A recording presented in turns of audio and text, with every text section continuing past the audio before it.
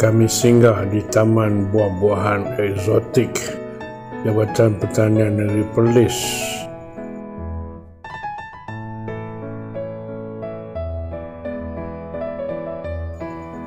Naik kereta bagi untuk keliling kawasan Taman Pertanian ini.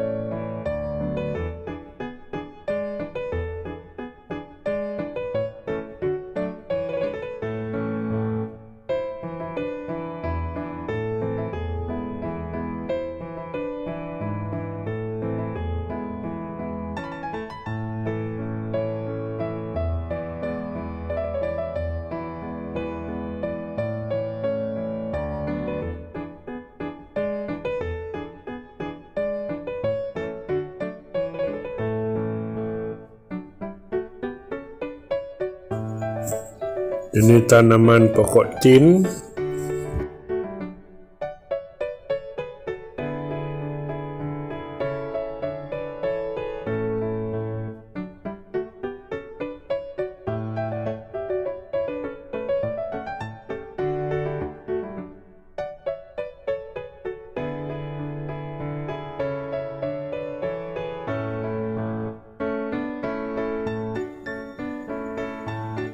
laman anggur.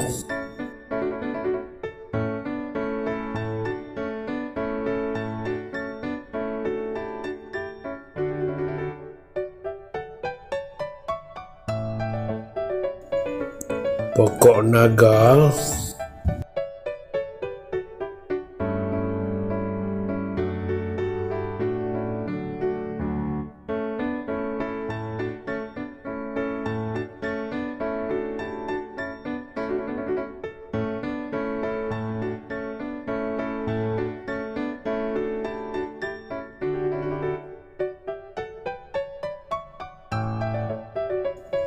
ladang mangga harum manis yang hidup subur hanya di negeri Perlis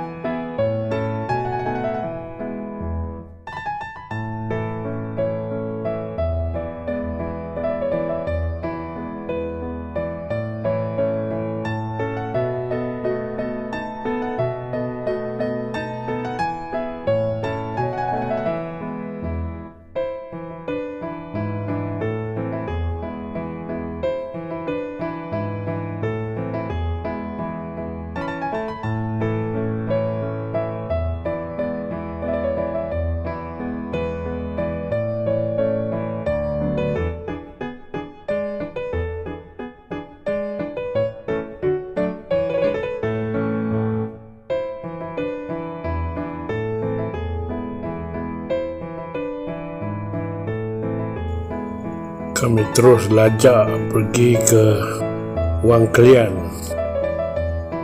komplek immigration pintu masuk ke negara Thailand. Cuma tengok saja lah kami tak masuk ke dalam Siam pun kemudian kami singgah di suatu tempat pemandangan indah view, viewpoint Wang Kelian di mana dari situ kita dapat melihat uh, keadaan muka bumi di sekeliling Wang Kelian dan juga di sekeliling kawasan berhampiran Wang Kelian tu.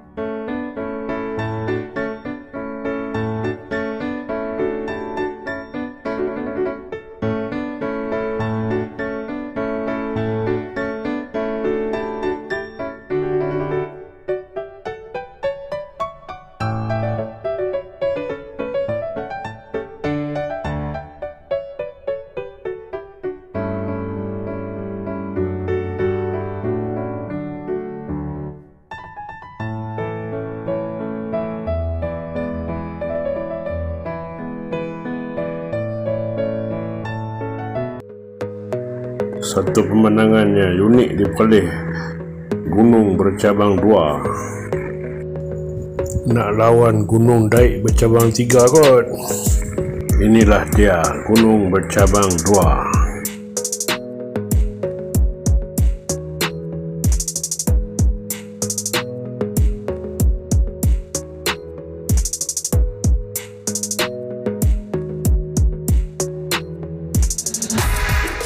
kami sampai ke Tasik Timah Tasuh boleh.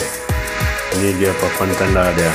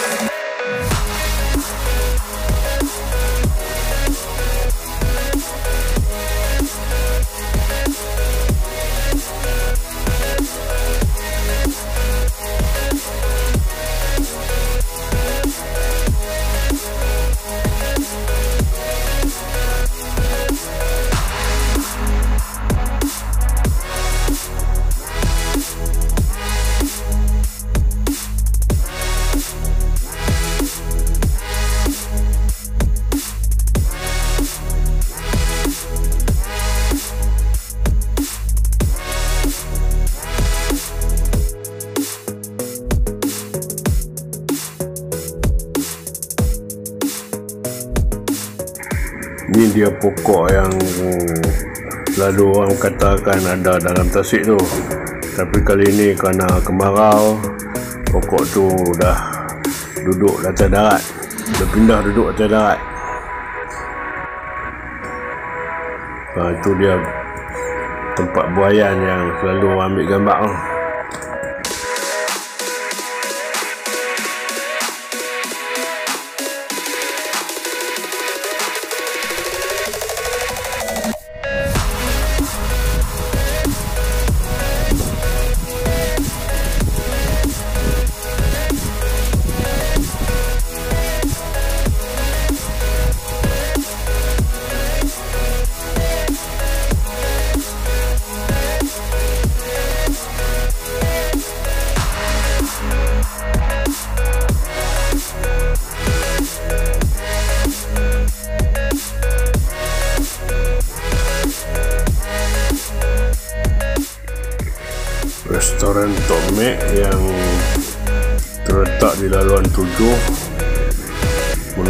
ke Padang Besar dan restoran yang menjadi pilihan untuk singgah kepada pengunjung-pengunjung yang datang ke Tasik Timah Tasuh boleh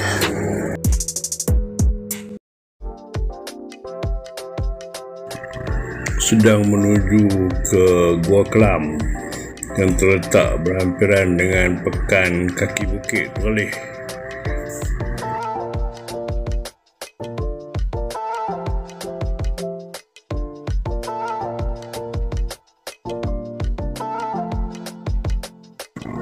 ini dia papan tanda Gua Kelam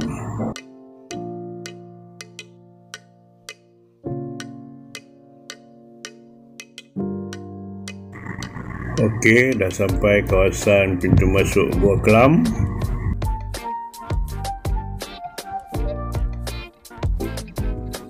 Ada taman-taman tempat perkelahan sebelum pintu masuk ke Gua Kelam ni.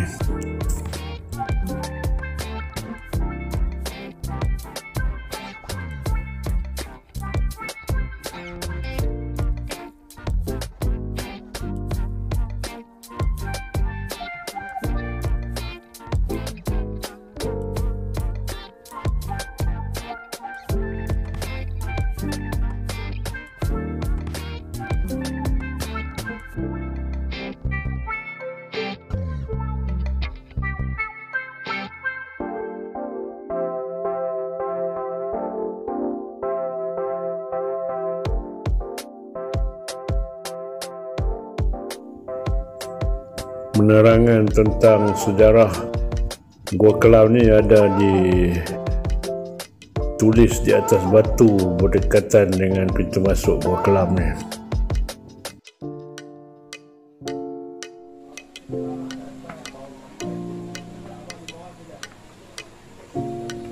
Sekarang kami berjalan menuju masuk ke dalam Gua Kelam.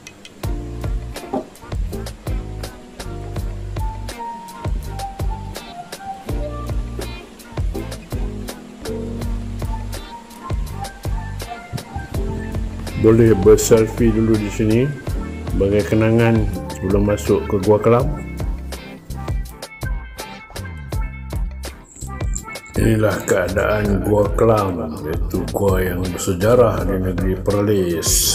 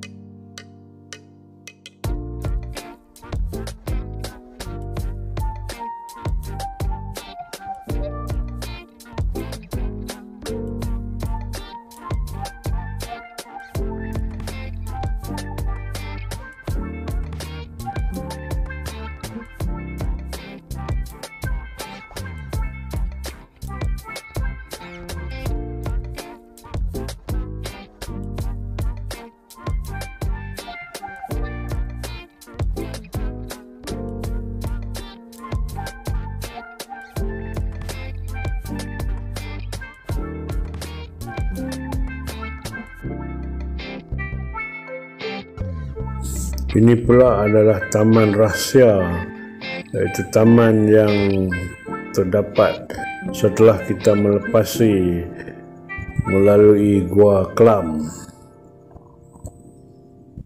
Dan taman ini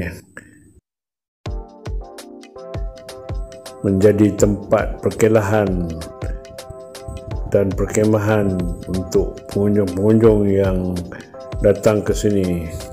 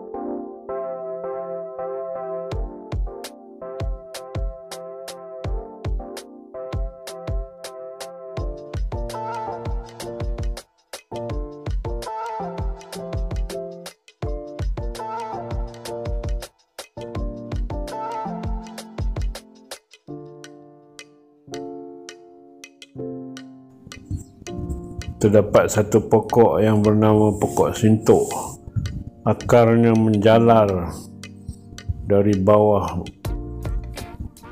menuju ke atas pokok dan keadaan pokok ini agak pelik lah untuk kita saksikan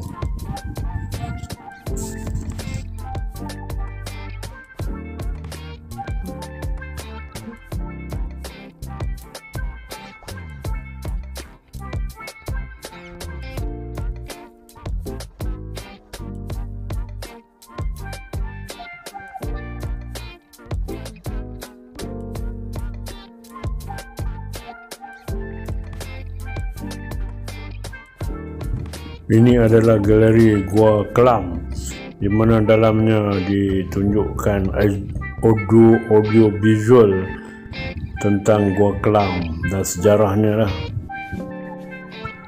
Ini pula bilik cermin yang terdapat di galeri tu. So, kalau nak tahu apa yang ada dalamnya bolehlah cuba masuk tengok apa ada.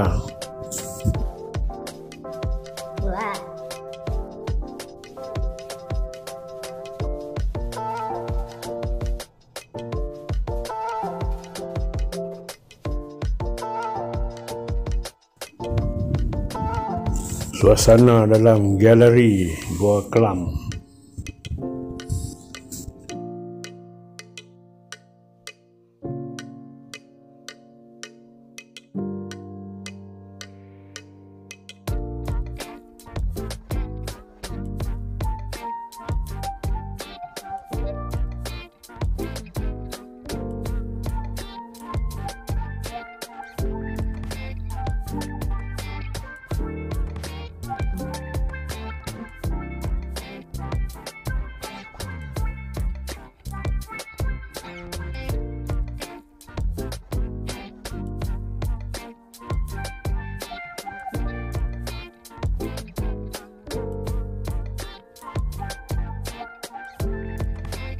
Bye.